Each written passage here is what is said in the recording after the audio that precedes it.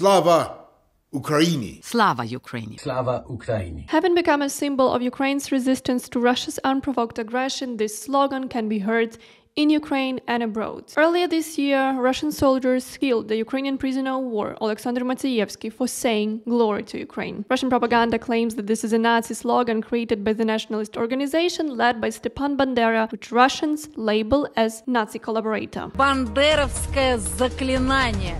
Героям слава! In reality, the slogan appeared long before Bandera came to prominence. To learn more about Bandera, who's not a Nazi by the way, please check out our first episode of Ukraine's True History series on YouTube.